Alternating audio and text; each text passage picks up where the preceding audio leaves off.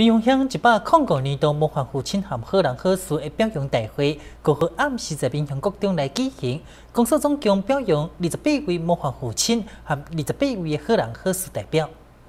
民雄乡公所表示，今年总共包括东荣村、蔡永雄等二十八位代表，因系模范父亲表扬；好人好事代表有中乐村、吴英华等二十八位接受表扬。其中，蔡英雄和吴英华也将代表民雄乡接受嘉义县政府的表扬。公司强调，当日受奖的模范父亲和好人好事代表，都是经过各村推荐和公所审查的遴选，拢是实至名归，作为典范楷模。公司就用民雄国中活动中心作为的冬天表扬大会会场，会场布置温馨典雅，也邀请民雄文教基金会萨克斯风乐团演奏奏兴，老少管老师级的舞团热情演出，整个过程闹得温馨。新闻空调红不中乡彩虹报道。